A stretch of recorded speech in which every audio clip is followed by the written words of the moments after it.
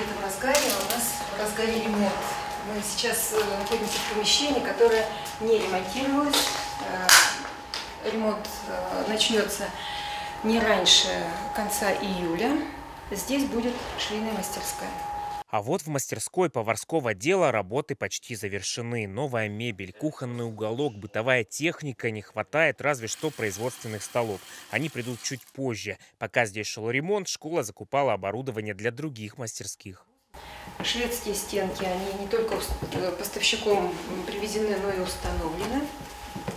Э, инвентарь для мастерского растеневодства, э, ученические столы, швейное оборудование.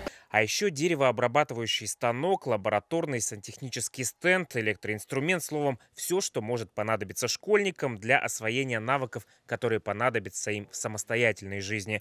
Обучать детей будут по таким направлениям, как растениеводство, рабочий по обслуживанию зданий и поварское дело. Здесь будут обучаться дети, которые закончили в этом году 9 класс и захотели обучаться дальше. А, мы предлагаем двухлетнее обучение. Это происходит в школе впервые. А, класс будет разделен.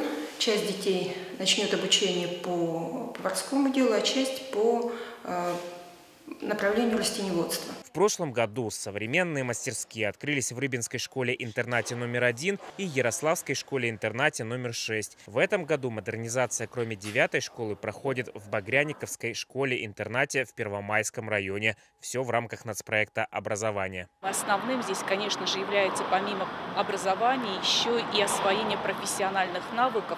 Отсюда и такое большое внимание как раз модернизации мастерских, которые создаются в этих учреждениях. То есть освоение э, основ профессии для такой категории ребят, безусловно, является важным для их дальнейшей социализации, для того, чтобы они нашли свое место в будущем. В проекте также освежить и оборудовать кабинеты психолога и дефектолога в разгаре и капитальный ремонт крыши. Таких масштабных работ школа не знала почти 30 лет. Андрей Децель, Георгий Иванов. День в событиях.